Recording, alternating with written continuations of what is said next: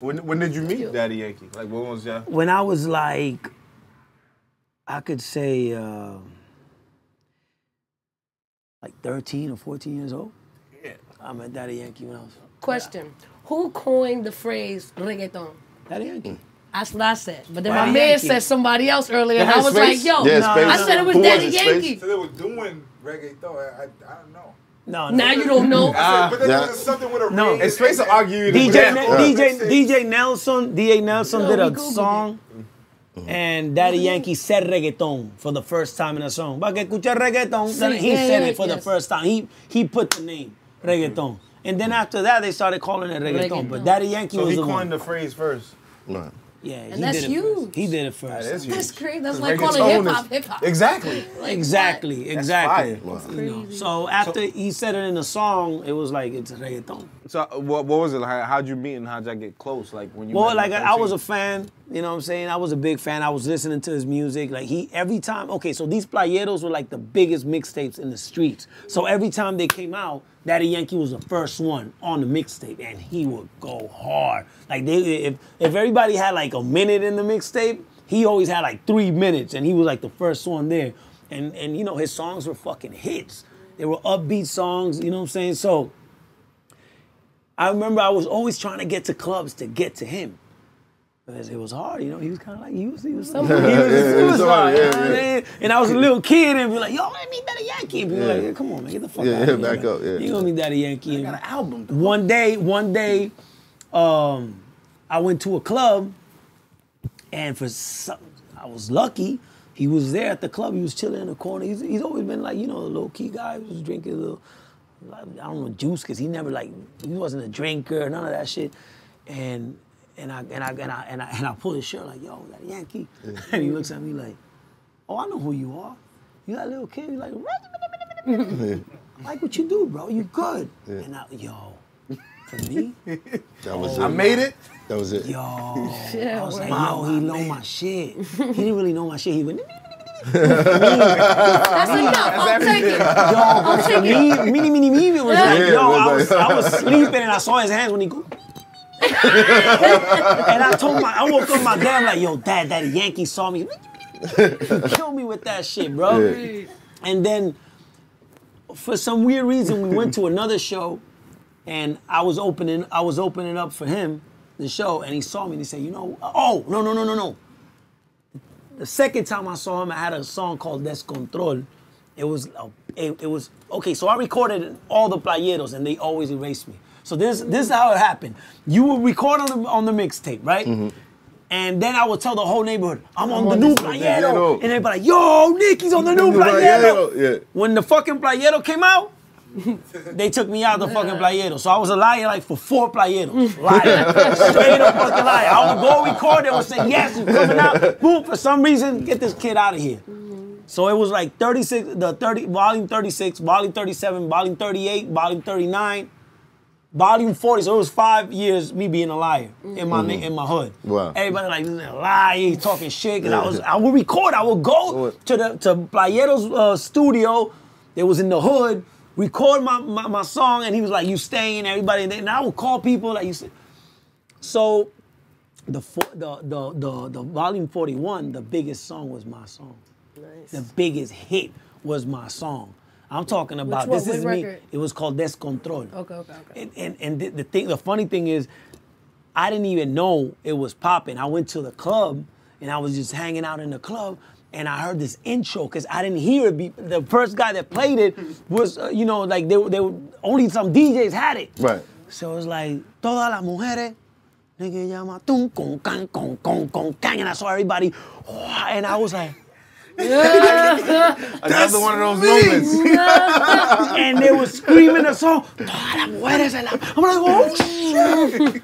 Yo, you don't know how I felt, crazy. bro. Yeah. I was like, what the fuck? And people, and the thing is, the beat was so badass. It was like, yo, it's not only me, like, it was me on a good beat. Because I did so mm. many bullshit music in the past. It was the first time it was me on a good beat.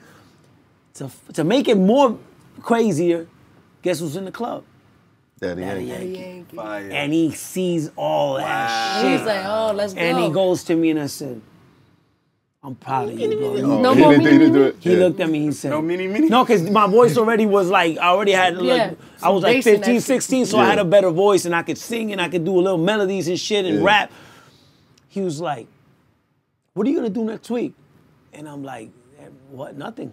What do you need? He's like, I'm going to Dominican Republic. You wanna be my backup singer? Bro, come on, man. I know all your fucking. Let's go to fucking Yeah, Dominican yeah, yeah. Republic. For me, that was huge. Huge. That's crazy. But probably somebody else is like, what, man? You got a hit song and this motherfucker asking you to back.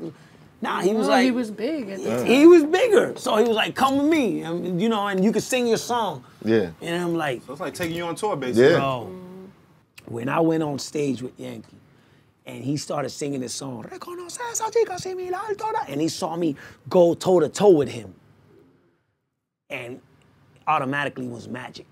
People love to see the combination of me and him, Right. and for some reasons, me, we were two. me- That, Yankee and me, we were both like you know good-looking kids that you know we, we had.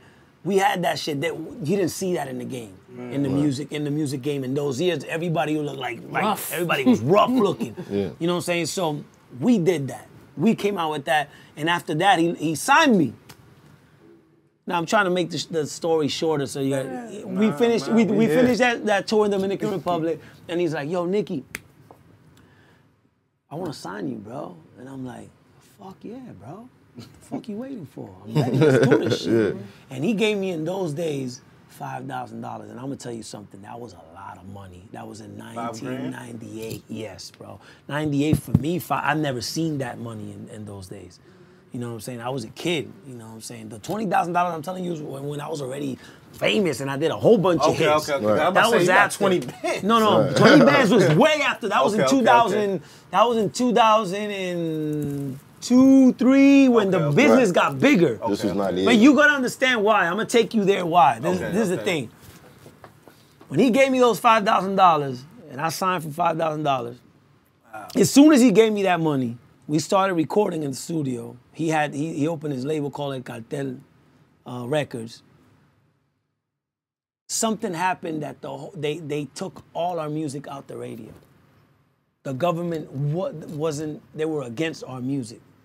So we got fucked. The whole system got fucked. Like they would even go to cars and break CDs. It- like cops could Wasn't that stop the thing you. where they would raid places crazy. and Yeah, yeah, yeah, yeah. Kind of like you know, kind of like um, Like a drug. NWA yeah, when they try to ban But, it. okay, so this happened in Puerto Rico in those days. So they would stop people and they would get the CDs. That would police would break it and shit.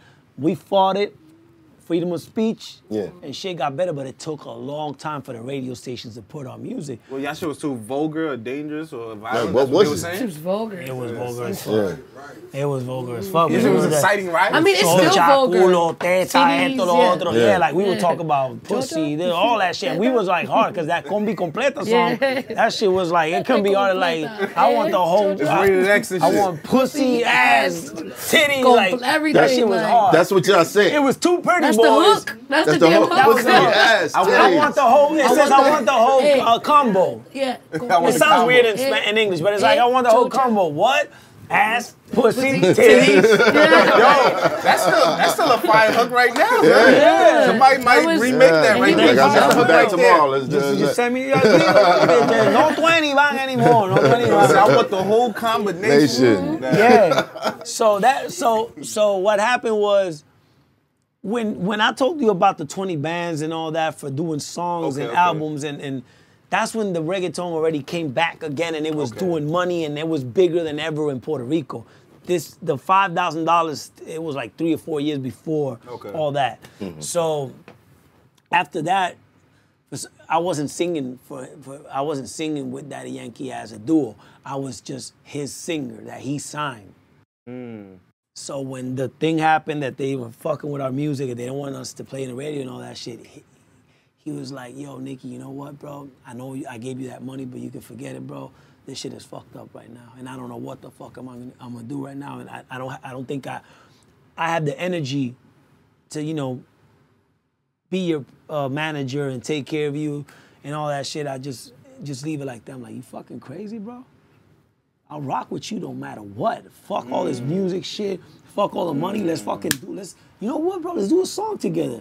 And he's like, yeah, yeah, let's fucking do it. And we started doing songs together, bro. And boom, Combination. people. he I was the melody, and he was like the hardcore. You know what I'm saying? And that's where Los Cangri came out. Los Cangri. They call it Los Cangri, and uh, we did a whole bunch of songs. And then after that was when Nicky went fucking crazy and lost it, bro. That's that's when I went. That's when the money started rolling in. Street shit was going on. I was in the. I was- I was going fucking crazy. It's hot for trap trapper turn smack rapper. Only smack rapper that you know is smack rappers. Got bars I can hang with the backpackers. Trap star, I don't hang with the backpackers. I'm in the hood with the work you heard. Making fiends leave earth you heard. Got your baby mama thirst you heard. Feel the flow, nigga, throw it in reverse. This the wave you need to surf you heard. Told Jim I need a bomb I could drop on you niggas. Bad boy, I'm never gonna stop for you niggas. I don't give a fuck who you got as the illest. I solidify my spot with gorillas. Now I'm rock you niggas.